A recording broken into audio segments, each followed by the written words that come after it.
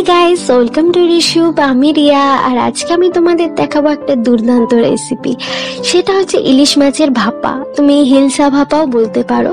তো মনসুনে during monsoon বাঙালিদের একটা স্পেশাল রেসিপি বলতে পারো। সব বাঙালির বাড়িতে আমার মা বানাচ্ছে। তো আমি তোমাদেরকে বলে দেবো যে কি করে ইলিশ ভাপা চটজলদি তোমরা বানিয়ে নেবে। তো চলো বেশি কথা না বলে আমি তোমাদেরকে দেখিয়ে দেবো ইলিশ ভাপা কি করে করা হয়। তো প্রথমে তোমাদের যেটা করতে হবে, ইলিশ মাছটাকে ভালো করে ধুয়ে, পরিষ্কার করে নিয়ে একটা বাটিতে ইলিশের যে পিসগুলো আছে সেগুলো নিয়ে নিতে হবে। তারপর প্রয়োজন পরিমাণ মতন টিউমারিক পাউডার অর্থাৎ হলুদ গুঁড়ো এবং পরিমাণ মতো নুন, অর্থাৎ টেস্ট টু সল্ট দিয়ে তোমরা কিছু কিছু কাঁচা লঙ্কা, চার পাঁচটা কাঁচা লঙ্কা চিড়ে দিয়ে দিতে পারো।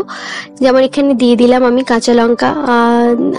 তো তারপর কাঁচা লঙ্কা দিয়ে দিয়ে দেওয়া হলো। তারপর কাঁচা লঙ্কার পর আমরা যেটা করব, আমরা এর মধ্যে কিছু অল্প পরিমাণে অল্প নয়, যতটুকু মাছ আছে তার বেশি পরিমাণেই দিতে হবে। একটু সর্ষের তেল দিয়ে দিতে হবে। খাঁটি সর্ষের তেল আমরা দিয়ে দিলাম। খাঁটি সর্ষের তেল একদম বেশি বেশি করে তেল দিতেই হবে, কারণ যেহেতু এটা ভাপার উপরে রান্না, তো তেল, যেহেতু মাছটা ভাজা হচ্ছে না, তাই তেলটা একটু বেশি পরিমাণেই দিতে হবে। যদিও আমরা নামানোর সময়তেও আবার দেব। এইবার আমাদের কি করতে হবে? ভালো করে মাছটাকে ম্যারিনেট করে নিতে হবে।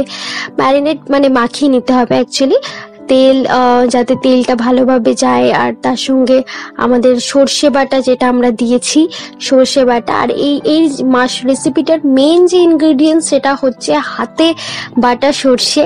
হ্যাঁ সর্ষে একদম শিলে বাটা, একদম খাঁটি বাঙালি যেটা একটা ঝাঁজ একটা যেটা আসে অলরেডি এটা আসছে ঝাঁজ।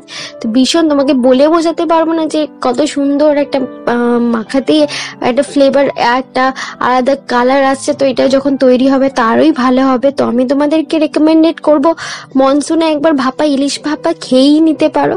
আর তো এরকম ভাবে আমরা মাখিয়ে নিচ্ছি ভালো করে।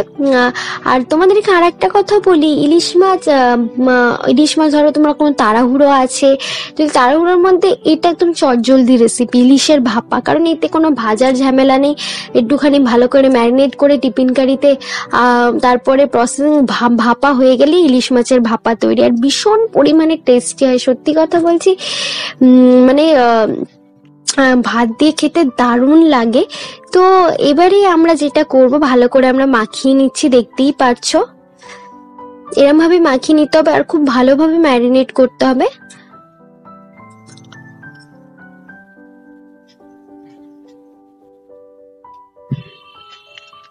তো দেখছ পুরোপুরি ভালো করে আমাদের মাখানো হয়ে গেছে। ভালো করে ঠিক এরকম ভাবেই তোমাদেরকে করতে হবে। ভালো করে মাখিয়ে নিতে হবে। মশলাটা যাতে উম, যে সর্ষে বাটাটা আছে যাতে ভালো করে মাছের ভেতর অব্দি যায়। খুব ভালোভাবে একটা ফ্লেভার আসে তার জন্য একটু সময় নিয়ে এটা করতে হবে। তবে এইটুখানি এইটাতেই সময় দিতে হবে। বাকিটা প্রসেসিং নিজে নিজেই হয়ে যাবে সেটা তোমরা দেখতেই পাবে। তো এবারে যেটা করতে হবে আমরা টিফিন কারিটা প্রেসার কুকারে দিয়ে দিচ্ছি, একটু গরম, একটু, একটুখানি তলায় জল দিয়ে প্রেসার কুকারে ওই ছ থেকে সাতটা সিটি দিলেই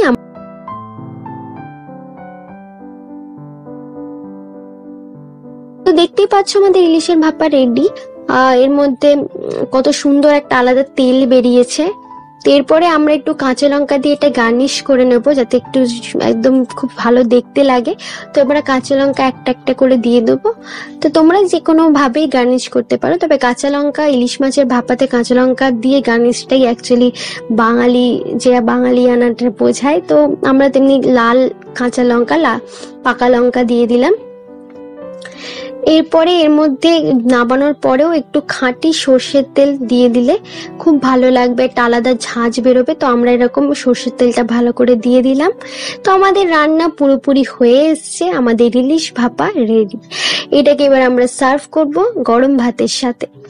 তো তোমাদের রেসিপিটা ভালো লাগলে অবশ্যই লাইক করো শেয়ার করো, আর এই ভিডিওটায় প্রচুর প্রচুর পরিমাণে শেয়ার করো। আর তোমরা অবশ্যই চটজলদি বানিয়ে ইলিশ ভাপা ইলিশ ভাপা করো। কেমন লাগল আমাদেরকে কমেন্ট করে জানাও। আর আমাদের চ্যানেলকে অবশ্যই সাবস্ক্রাইব করে দাও, যাতে এরকম রান্নার ভিডিও তোমাদের জন্য আরও আরও বানাই। অ্যান্ড এরকম ধরনের হেল্পফুল ভিডিও তোমাদের জন্য আমি করি। তো আমাদের চ্যানেলকে অবশ্যই সাবস্ক্রাইব করে দিও। পরের ভিডিওতে দেখা হবে। Till then bye bye